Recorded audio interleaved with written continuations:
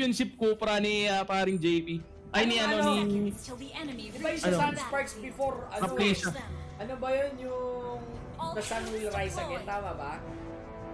Mm, yara. Yun ata eh. Ano, ano yung sa Aura ngayon? Aura Fire. Ay, Aura Fire? Aura Fire. Aura Fire. Aura Power. ano yung Aura kanta mo yan, bro? Power. Ano pala yun? Maskman pala. Hindi ko alam, naabutan pa yun ng mga nanonood. Wala, hindi ko na nabuti Hindi ko inabutan yan. Ay, talaga ba, Prof? Hindi mo ba inabutan Oh, yun? kasi tito ko active magkwento sa akin ng mga sinaunang ano pala. eh, usapan tito na naman. Pero nag-iba, ay, hindi, same pa rin pala. Look at the, ano ah, Same. yung ginagawa ng Aura PH dito. Punta mo kay Cupra. Ayan. Ayun, no, very aggressive pero pinaghandaan na sila ng Archangel. Kanina kasi nansusune. Tira Oo. siya to secure the another uh, repolyo. Ang ginawa nila is nag-abang na sila. Sila na rin nag-secure. Good Yes. adjustment ang pinapakita dito ng Archangel Esports. Eh, I think ginawa ano no ginamit din nila yung game 1 para mapag-aralan yung mga rotation na gagawin ng Aura PH for uh, the rest of the fight pero ito mukhang eh, another engagement yung magaganap pero disengage na lang din yata pala uh, Archangel dito no. Uh, the da- damage wise uh, this early on the game makakalamang talaga ang isang parsa eh. Oo. Matik yan, spammable skills. And uh, that's a mage. Automatic yan. Ang kailangan lang is level. Hindi pa Mhm. kailangan ng item yan as early as as now. Look at the basic to it. Inagahan lang ng isang mabilis si JP dito. Trying to catch Sasha onto the top side. Disengage. Wala purify. Yes, and we need to take note na wala na ang purify. Ah, yung Popolin Kupa natin, so medyo vulnerable na siya sa mga disables na pwedeng ibigay ng isang Cupra. Pero ito na nga another teamfight is happening with the bouncing ball. Escalera hindi yata makakatakas dito. Pero look at the disable na bitawan ni Keke and that is going to be the first blood on the, on the side of Archangel Esports. At dalawa pa ang makukuha nila. Ang ganda na nga ginawa doon ni ano ni Escalera no? Nagpabait lang siya ng konti. Then here comes Louie galing doon sa likod disabling dalawang miyembro ng Aura PH iba talaga ang Louie din ngayon? Oo, ibang ah, galawan. Alam mo naman, kaya nagkakaganyan. Paborito nga ni Ginong Valdez. Eto nga, Aura PH. Sabi, game 2 na ba? O sige, ah, i-game 3 natin to. Alam mo naman si Ginong Valdez pag nakita talaga Aura PH eh. Laging may kulay ang istorya ng laban na to. Pero look at that. Trying Oy! to catch. Hmm, nasa lupa ang baby bouncing ball from the Escalera? backline. Trying to kill JP. There you go. Escalera doing a great job killing the core hero of Aura PH. medyo hindi nila na malaya na meron dun sa damuhan no and yung code natin na nakuha na rito from mga masusunod na nga ang ating uh, championship Cupra pero hindi pa tapos Way of the Dragon galing kay Kinuas that is actually a very good Way of the Dragon onto the turret pero meron sila na RKO and that is going to be a double kill para kay Lubo G 6-1 tayo pa rin Prof B in favor of Archangel Esports Grabe naman yun. Let's see. Let's see kung ano nga ang gagawin dito ng uh, Archangel Esports. Tama to hold their lead against Aura PH. 6-1. Typing in KLBJ just to make sure to clear things out. Duet? Blazing Duet sa mukha. They're able to take down Ison, the Atlas. 6 to ating score. Alaga lang ng lamang ang Archangel Esports. And sama mas madali sila makakaikot. Yes, and right now, wala pa rin kill si uh, Claude natin dito which is si JP. Kailangan na itong makahabol no, in terms of gold. Uh, ano eh, lugi sila on a team fight basis just because of Louie. Kasi lahat sila nahihigop sa gitna. No, kapag tinamaan sila ng yin yang. Masakit din. Oo nga. Eto, bumibuelo naman si si Ison. Si Ison. Si, Ay, si Aison. Kasi may isa, di ba, si Ison Esports, naalala mo yun, si Signal Ultra. Oo. Si Ison. Letter, ano ata yun eh? Iba yun? I, I, I ata talaga yun. Ito na, bumibuelo, dalawa to ha. Ay, joke lang pala. disengage lang, disengage lang. Kala Sinubukan ko nila eh. pero hindi sila nag ano, hindi sila nagwagi. Hindi sila- hindi na naig yung ano, yung greediness. Malalim No, kailangan nila mag-chill kasi malalim nga rin, yes. Hindi na Pero nagwagi, eto, hindi pa engagement. nanaig. Escalera might fall down dito pero activate his ultimate securing the siya Uli. almost falling down pero look at the damage na binitawan dito ng Louie natin mapapatakbo si Rafli siya pero here comes Esmeralda securing a kill for their team 8-3 tayo 1 for 2 in favor of Archangel Esports Ang ganda ng bigayan dito. Lumalamang na ng lumalamang ang Archangel Esports. Um, Aura PH trying to delay things against uh, Archangel Esports. Look at that. Si KLBJ, dinedelay lang niya ng dinedelay somehow para makaset up and Flicker out being popped out? by Kiel BJ. Grabe kasi sustain ni Ninja Kila from Manila eh. Oo, iba ang, ang Yuzong talaga one of the ano eh, the highest sustained heroes ngayon sa meta. No? Especially with the passive, iba talaga yung passive niya talaga yung I I think ah, para sa akin guys ha, nadudugaan ako sa passive ni Yuzong. Sobrang laki nung heal na nakukuha, then may damage pa. Tama. Dapat alisin yung dragon niya. Sa next patch. Pero, wag na nila i-nerf. Ano lang yan, tama lang yan, feeling ko. Yung ganon. Ang gawin nila, ano, palakasin na lang nila si Basha ulit. Ah, yes. Mga po, Diba? pwede, pwede, pwede. Kasi ano nga naman, no, Grievous Wound. Pero let's see kung ano gag... Oo, ang kulit mo ha, naging Okay. polat din ang sa mukha. Sabay guard guard. And higot Eto na. dito. Ang dami ng binitaw. There you go. To Ay. take down Kufra. Here comes Shenron. Dragon! Ako nahuli dito yung tropa natin na si JB. Pipilitin niyang tumakbo pero here comes the Dragon. Papasok ba sa loob? the I think Dragon. disengage muna. Here comes Skill Wash with the Jet Kundo. Way of the Dragon on to the side. Pero mali yata siya na napuntahan. Look at the damage na binibitawan ng Louie natin. Sobrang sakit. At take note, that is a support mo, pero natutunaw lahat ng miyembro ng Aura PH. Tama, ang ganda ng ano. Di ko alam kung ano yon. Um, mali yung liko ng sipa niya. That's Yes. unusual from Killwash. Akala ko si Sip kaya siya bumuelo doon, sisipain niya papasok sa tore. Yung dragon. Nagulat ako pag sipa niya, umaling. Pauwi doon sa ano, sa side nila. And, I uh, think ano eh, dahil nanakap din siguro siya ano, na nawala yung angle na gusto niyang puntahan. Most likely. Ay, ay dash nga ata. Pag dash niya katabi na yung, ano, yung bato. So, yung Oo. dapat nasa likod siya nun para may pull off niya sa kabilang side. Tama, baka bato.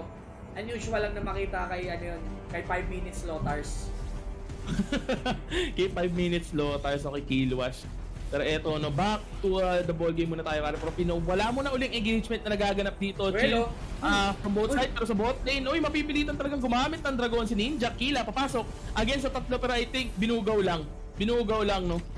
Tama, sabay kasi kabila. eh. Masag sa kabilat kanan dito. The power push, sabay ikot, mas mabilis ang galaw ng Archangel Esports. Look at that, right after mabasag nung ah, top side dito, eskapo agad tong dalawa, which is si Link tsaka si ah, PNK. Possible na magro-rotate to. Etong dalawa, pwede nila yung bottom side. Yes, ah, ano tayo, 7 minutes into the game, 10-3 yung score natin at eto, Kel BJ mukhang delikado. Magagang pero makakapag-flicker out ng diba? Pero look at the damage of Fling. Kay paring grid talagang mapapa-ibon out muna yung farsa natin dito. Ano, engagement muna yata na magaganap. Disengage coming from AA. Buwelo na naman sila. Napalabas na ang ah, next ah, turtle dito, 50 seconds. And later on, baka hindi na nila kunin to eh, Erectan Lord na to. Oo, Itong para sa Lord, yes. nila. Knowing na walang retry itong side ng Aura PH, possible that sa clutch, Blazing Duet, if ever mag-aagawan sila dito ng ah, Lord. Plus, favorite position ni Atlas of course, yung lugar kung saan ah, si Lord hindi niya kailangan hanapin yung mga kalaban. Alam niya kung saan darating, lalabas. Automatic, Oo. possible or potentially mahuli niya. Yes, tama ka dyan. At yun yung kailangan ano, no, pag-ingatan dito ng Aura PH. Speaking of pag-ingatan, delikado yung kalagayan ni Grid dito. Ninja, Kila, very aggressive, pumasok sa loob. Pero look at the damage yung Claude. Basic attack is enough to take him down. BMI even. Pero uy, medyo ma-RKO. What a nice, ano ha, ah, Purify coming from the Claude dito. Si, ah, saving himself from the ultimate of Atlas. Pero walang mamamatay from both sides of the team. Though nakuha na ng second tier turret ang Aura PH dito sa baba. Kuntigan lang. Kuntigan lang Mm. magkamatayan pero hindi siya pa trying to move forward dito. Pumipekto sa sila ni sa mabilis na Lord. Habang Oo, alam nila, walang fatal links dito si Atlas. The Yakap trying to burst, flicker out, being out. by Ison. Disengage siya muna ang ah, ginawa Yeah. nila dito. Pinaburn ata nila, no? Para sure na Oo. makakayakap ng ano sila doon. Sa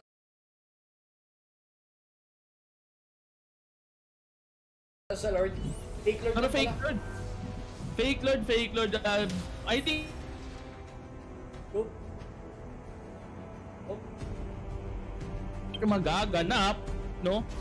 Disengage coming from both teams tayo, guys. Makikita naman natin dito. Sinesecure ngayon ng uh, Archangel. Uh, dinedepensahan nila yung Lord. Hindi nila hinahayaan na mapuntahan ng uh, Aura PH. Tama, tama nga.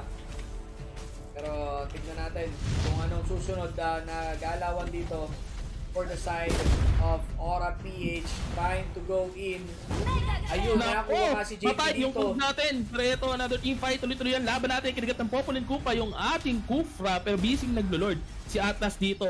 Ah, Archangel might take it down. Pero nandito nagbabantay. Trap din siya pero hindi. Ah, wala nang contest na naganap. Instead, nag-disengage na sila knowing wala na yung Claude. They don't have enough damage to fight ah, on the Lord. No, especially with the Atlas dito, may ultimate pa to eh. Exactly. Sige na usually mal- malambot lang naman kasing first lord talaga eh. So hindi pa siya ganung ah, katakot-takot dahil wala pang skill si, si Mm. Lord dito. Let's see kung paano weaponuhan ng Aura PH once na pumwersa itong Archangel. Look at the formation of Aura PH onto the top side. Nagbibigay sila ng ah, malaking ah, rotation or distribution ng hero. Then alam nila, Mhm. dito naglalakad si Lord. Ang possible na humiwalay dito to defend. I-grip kaya. Pwede, side, most likely oh, si Great. Mas maiging pandef ang ah, isang parsa kasi talaga eh. Kung i-compare mo sa isang Chuno. And Chu, they need that on a team fight ah, to pick off someone. Though yung fires na natin, malayo yung range no. Mas mabilis kasi talaga siya mag-clear ng ah, minion waves. Pero ito, I think engagement yung magaganap dito. Bumabatak, sarap din siya sa gilid pero hindi niya itutuloy. Ang ganda ng pagka-balance dito. Distribution again. Defense from the side of Aura PH now. Pinantay lang nila. They're going in para sa mid servant dito ng Art, uh, Aura PH. Archangel doing a great job going in. Ison, binigla ng lahat. Purify being back. Ayun. LBJ, tinamaan dito ng araw with sa headbutt sa likod. Tamang zone out lang naman dito. Pulago as well. Nagkatalbugan na nga. Baby bouncing ball is dead. The Cobra is out. Wave the dragon. Now down na rin si Shenron. And there you go. Pulado at sumabog ang mga tore, kaliwat, kanan, gitna pala, gitna at kanan. Gitna at baba. Oo, gitna at kanan.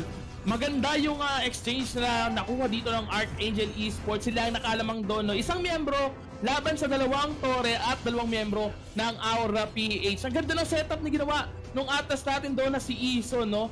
Ah, though nakapag-purify yung isa, still, malaking bagay na si Esmeralda yung nawala doon, no? Alam naman natin kasi the Falling Starmon can deal a lot of damage on their entire team. Especially kanina, dikit-dikit sila noon. Kung tinamaan sila lahat doon, ah, that might be the ano eh, the victory of Aura PH on the team fight. Oo. alam mo, gusto ko yung, ah, gusto ko yung ah, point mo dun ha. Pero, ano ba susunod na gagawing hakbang? Look at that. Laban na ata to. Ang gusto gawin dito ng Aura PH. Look Bison? at that. RKO Fatal Leagues going in. P. Esmeralda na naman yung nakuha dito. Escalera going for the mega kill. Escalera 6-1 yung Ling, no? Kung sino talaga yung makahawak ng Ling tapos sa early game pa lang lumakas, hanggang dulo na, nahihirapan na silang patayin. Exactly. Alam mo, tinitignan ko kanina.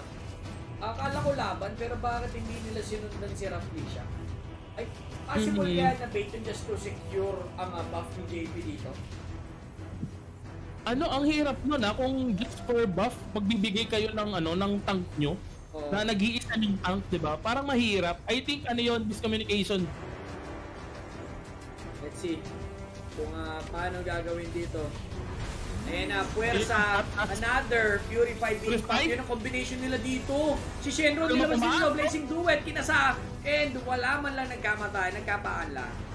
Nako, eto ha, si Chu natin na napalabas sa labas pero Killua still on the go though. Disengage coming from AA, ang ultimate dito paring grid will be activated just to clear out the enemy minions. Ang ganda ng kuha, no, kaso may purify. And uh, wala nga namatay during that uh, last team fight, no. 14-4 tayo in favor of Archangel, guys. And I think they are just waiting for another Lord para magkaroon sila ng chance na matapos yung laro for a 1-1. Game 3 to. Tingin Kung sakali. game 3. Mm-hmm. Item check na tayo, isang mabilis. Ayan, oh. look at the item, guys. Okay. Ay, tingnan mo na yung gamit ng Yuzo. Mahirap na yan. Ayo nga, going in for ano ata to? Kiras pa ba to? Kiras, kiras magkikiras pa siya rito to, no? instead of going for the immortality. Eto na. Pero eto, another engagement in Dragon natin. Sumasayaw-sayaw na doon sa likod. Escalera, hinabos kay LBJ. Look at the damage na binibitawan niya rito. Unstoppable. Tulog yung Esmeralda natin dito. Delikado yung kalagahan ni Kufra na iwan mag-isa doon. Tempest of Blades been activated. That's going to be a double kill. And JP Grit na lang ang nakitira to defender base. Look at the two. Cutting the minion wave on the bottom lane. Right now, Archangel maglo-lord to pare Prof B. Init ang ah, Archangel ngayon, doing a great job again and again. Hinohold lang nila ang kalamangan. They're trying to make uh, things na sure lang. Diba? Oo. Pwede nilang tapusin pero mas sure kasi pagka may Lord na sinesecure lang na nila lahat na pwede secure para ma-cement na. Ang uh, going in for the game 3 Fatal? Links para RKO dito sa dalawa. Nakakaligtas pa ba? Kilo Wash and Blazing Duet sinagot. Uy, si Ngart Ngart lang ang sumalo. Si Chicho Dog. Si Chicho Dog, doon na yung tulong talaga ng Chicho Dog na to. Siya yung sumalo nung ano, nung Blazing Duet. Oo. Sabi, i-re-revive lang dapat ang uh, cooldown niyan 10 minutes eh.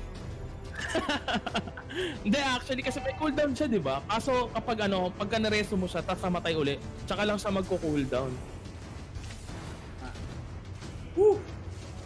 Ang init ang init ng laban na to, no? Kanina, ano eh, medyo one-sided yung laban from Aura PH. Kaya naman, Archangel naman yung na, nag one-side dito sa laban na to. Exactly. Pero yan na, bumibuelo na naman si ah, Atlas dito. Feather Earthstrike to defend this one. Grid doing a great job to hold. Eto na ang Dragon na pa-early nahuli! dito with the Fatal Links. Blazing Duet? Teka lang.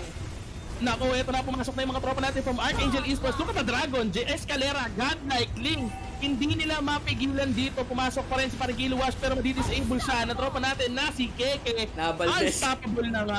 Grabe, nabaldes na pare Profi. Tama ka dyan. And right now, I think they would like to end this match right now. Natin na lang siguro na yung mga minion. Oh, ayun na. Tama, ano na naman dito, Buebelo. Si Louie. Mm. LBJ dito pumapasok sa gitna. Medyo masakit yung damage. Louie, item sa Blazon Man doon sa likuran. Luke at Escalera. Dalawa yung makukuha niya with the base attack and slides. Double kill yan para sa Archangel Esports and there is going to be a game 3